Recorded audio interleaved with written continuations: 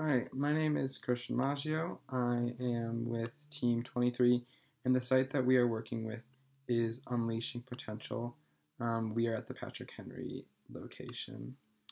So, our team had to, um, our plan was to implement um, a conflict resolution learning module over the course of four different site visits um, with the children at Unleashing Potential Patrick Henry.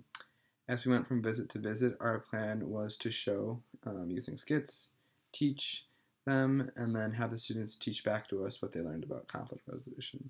Because of what is happening in the world and COVID 19, all schools in the state of Missouri, um, and I think throughout the US, um, have been shut down and transitioned to e learning or online learning. So, we will not be able to go back to Unleashing Potential, Patrick Henry, to teach the students ourselves. So, um, we still think it's very important that um, we're able to implement our project because the issue of conflict resolution um, is a really real problem. Um, as I talked in my last critical reflection, more and more people are turning to violence and conflict as a way to deal with their problems.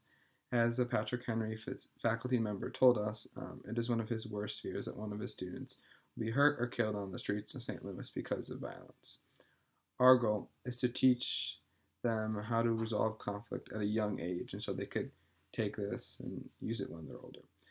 Because of all that's going on, my team and our faculty member have been talking and working out a way that we can still implement our project despite the pandemic and the distance it puts between us and the community of St. Louis.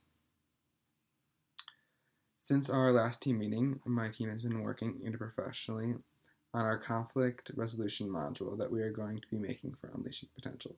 Our new plan is to make a step by step module that a faculty member at the facility can use and learn to help implement with and to the students um, when school and Unle- Unleashing Potential is back in session. So, we are taking our plan for each day and putting them onto paper pretty much. Um, and making sure that there's plenty of direction um, and activities that the faculty members can utilize, be able to implement and teach to students about conflict resolution. There is still, we're still going to keep the pretest to establish a baseline of their knowledge, and then that's going to be followed up with a post test at the end of the module to see how much information and knowledge they've gained about conflict resolution. We'll be presenting the module information to um, our faculty member and a UP faculty member via Zoom to teach them about our module and like what our expectations are. Um, we all hope that this goes well and that they're able to implement it, and maybe they'll be able to implement it on a bigger scale and use it at different unleashing potential sites.